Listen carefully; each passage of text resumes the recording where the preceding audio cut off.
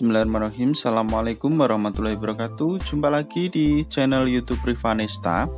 Masih di sudut edukasi belajar mudah dan menyenangkan. Bagaimana kabar adik-adik semua? Semoga selalu dalam keadaan sehat ya. Sehingga dengan kondisi yang sehat kita bisa belajar bersama untuk membahas soal-soal dari buku penilaian Bupena untuk SD atau MI kelas 3 ya di jilid 3B yang mana kita sudah membahas untuk soal yang bagian akhir yaitu soal penilaian akhir semester. Dan kita sudah masuk di uh, muatan pelajaran SBDB jadi yang ketinggalan untuk pembahasan soal-soal sebelumnya bisa disimak di uh, playlist Bupena kelas 3 dan jangan lupa untuk selalu berdoa agar dimudahkan dalam setiap aktivitas kita ataupun uh, saat belajar dan juga saat mengerjakan soal-soal yang ada. Oke, langsung saja kita menuju ke soal yang kita bahas hari ini yaitu uh, uh, muatan pelajaran SBDP ya di halaman uh, mulai halaman 199 ya. Kita langsung ke soal yang pertama di KD 3.1 zigzag termasuk unsur seni rupa berupa lah zigzag itu eh, termasuk eh, unsur seni rupa berupa garis ya. Jadi ada garis zigzag garis lurus ya. Ini jawabannya. Nomor satu adalah yang C. Kita lanjut ke nomor 2 warna berikut yang termasuk warna primer adalah nah warna primer uh, itu uh, merah ya. Jadi merah itu merupakan warna primer ya. Jadi untuk nomor 2 jawabannya adalah yang C. Kemudian kita lanjutkan ke nomor 3. Motif tumbuhan ditunjukkan oleh nah kita lihat di sini. Untuk yang A ini kupu-kupu berarti dia jelas hewan ya. Kemudian yang B lah ini e, tumbuhan ya kita lihat ini adalah sulur ya sulur buah daun ya. Maka jawaban yang B kalau yang C ini adalah geometri. Jadi jawaban untuk nomor 3 adalah yang B. Kemudian kita lanjut ke nomor 4 perhatikan gambar berikut. Nah ini ada gambar e, dekoratif ya gambar dekoratif tersebut memiliki motif. Di sini sudah saya tuliskan yaitu motifnya adalah tumbuhan. Karena kita lihat di sini ya ada daun ya ada bunga juga ya. Jadi di sini sangat terlihat sekali ya motifnya adalah tumbuhan. Kemudian nomor 5 tuliskan unsur-unsur seni rupa yang terdapat dalam gambar dekoratif. Nah ini unsur-unsur seni rupa itu berupa garis ya. Jadi ada garis misalnya ada garis zigzag tadi kemudian bidang dan juga ada warna. Jadi jawabannya adalah garis bidang dan warna. Kita lanjutkan ke soal berikutnya untuk muatan eh, SPDB KD 3.2 nomor 6 panjang pendek bunyi pada lagu akan membentuk jawabannya adalah pola irama ya. Jadi kalau panjang pendeknya itu akan membentuk eh, pola irama ya nomor 6 jawabannya adalah yang C Kemudian nomor 7 lah ini adalah uh, alat musik ya. Nama alat alat musik tersebut beserta cara memainkannya adalah ini adalah marakas yang namanya ya. Marakas uh, di mana di dalamnya itu terdapat butiran-butiran sehingga pada saat dia saling bergesekan akan menimbulkan bunyi ya. Jadi jawabannya adalah marakas. E, cara memainkannya dengan digoyang-goyangkan ya. Kalau kendang itu dipukul tapi gambarnya bukan seperti ini ya. Kecapi benar dipetik tapi eh, ini adalah gambar marakas. Nomor 7 jawabannya yang eh. Kita lanjutkan ke nomor berikutnya, nomor 8 ya. Perhatikan gambar berikut ini ada gambar tangan ya. Baik yang A maupun yang B. Pertanyaannya, bunyi yang terdengar dari kegiatan pada gambar A dan B berturut-turut adalah yang A ini adalah uh, sedang tepuk tangan ya. Tepuk tangan berarti bunyinya adalah prok prok prok. Saya tuliskan ini. kemudian yang kedua ini sedang apa inilah gini ya mungkin ya lah nah ini nah ini suaranya kalau tadi gini kan berarti uh, bunyinya adalah klik-klik ya. Oke. Ini jadi jawabannya untuk 8A adalah prok prok prok. Kemudian yang B adalah klik-klik-klik ya. Lanjut ke nomor 9 dari alat musik berikut ada triangle kendang dan juga marakas yang mengeluarkan bunyi ting ting adalah jawabannya adalah triangle. Jadi dipukul triangle itu bunyinya ting ting ya. Kemudian kalau kendang itu e, suaranya tung tung tak tak tung tung lah itu kendang kalau marakas ya itu berbeda lagi ya jadi jawabannya nomor 9 adalah triangle kemudian nomor 10 ini apa perbedaan Pola irama rata dan pola irama tidak rata. Jelaskan dengan contohnya. Apa itu beda pola irama rata dan pola irama tidak rata? Ya, kita diminta menjelaskan dan memberikan contohnya. Di sini sudah saya tuliskan untuk yang nomor 10 ya.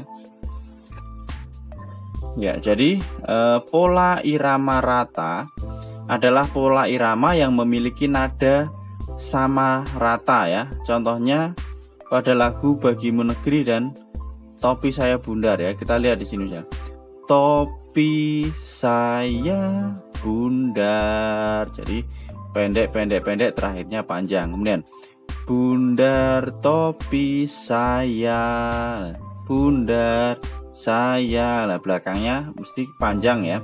Kalau tidak bundar. Lah itu belakang. Jadi nadanya sama. Itu e, namanya pola ila, e, irama rata ya. Kemudian pola irama tidak rata. Pola irama tidak rata adalah pola irama yang nadanya berbeda-beda ya. Jadi nadanya berbeda. Kalau tadi kan sama semua ya. Tiap barisnya baris pertama baris kedua itu nadanya sama.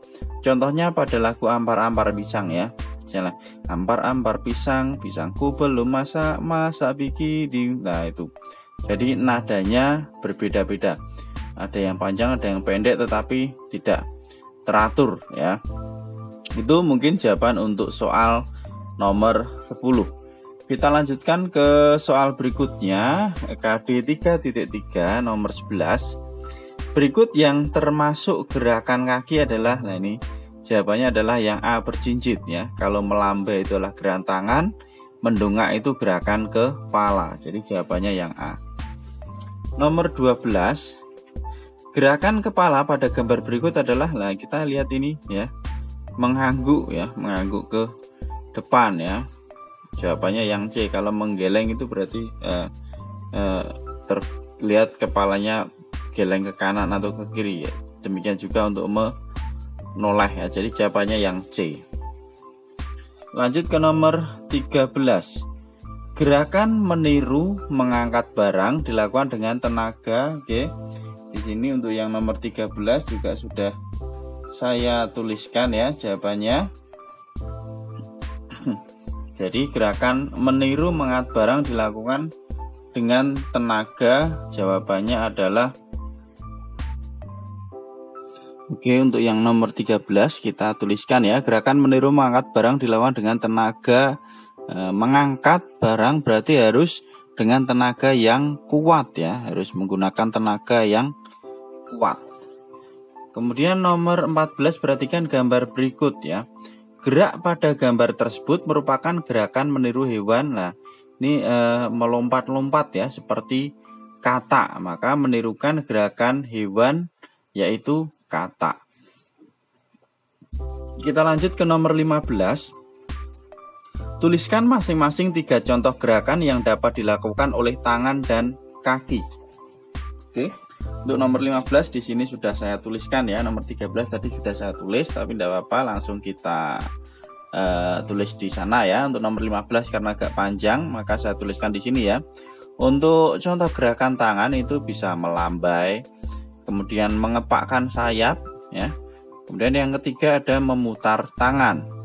Kemudian untuk contoh gerakan kaki misalnya melompat, melangkah dan juga ber jinjit ya seperti di soal nomor 11 tadi ya gerakan kaki itu adalah berjinjit ya oke Kita lanjutkan ke soal berikutnya nomor 16 KD 3.4. Contoh bahan alam yang dapat digunakan untuk membuat karya seni adalah nah ini bahan alam berarti berasal dari alam ya itu biji-bijian. Kalau kertas origami dan sedotan jelas bukan ya. Biji-bijian itu misalnya eh, ada biji padi mungkin, biji kacang hijau, lah macam-macam ya.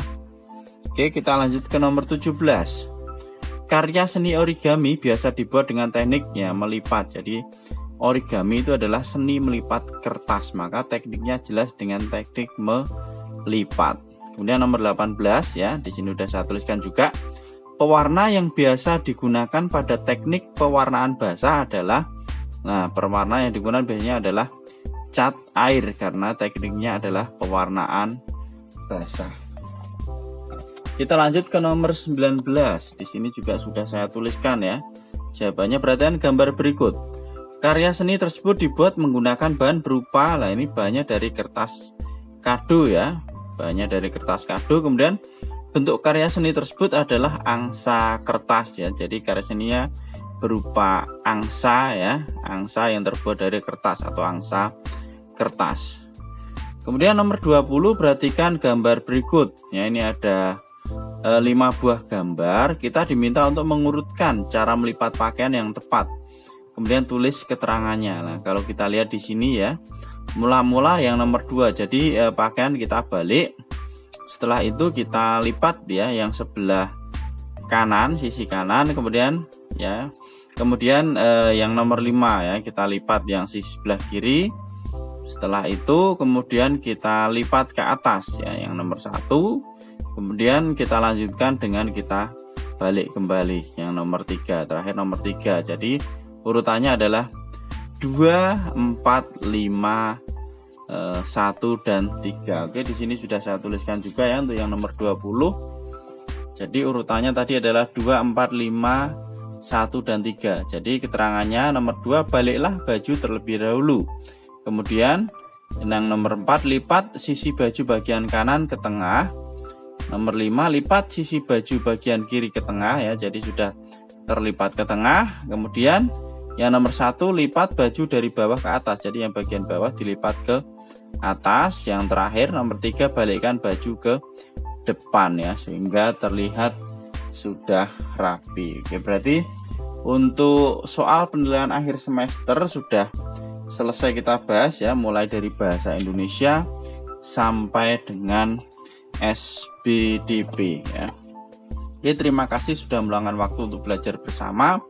Mohon maaf apabila ada eh, kekurangan dalam penjelasan, silahkan pertanyaan atau saran bisa dituliskan di kolom komentar ya. Jadi sampai ketemu di pembahasan buku penilaian Bupena jilid berikutnya yaitu eh, 3C ya. Tetap semangat dalam belajar, jangan lupa untuk selalu berdoa dan yang masih ketinggalan pembahasan soal-soal kami bisa dicek atau bisa dilihat di playlist ya Bu Pena kelas 3. Uh, eh, sekali lagi terima kasih dan mohon maaf saya akhiri. Assalamualaikum warahmatullahi wabarakatuh.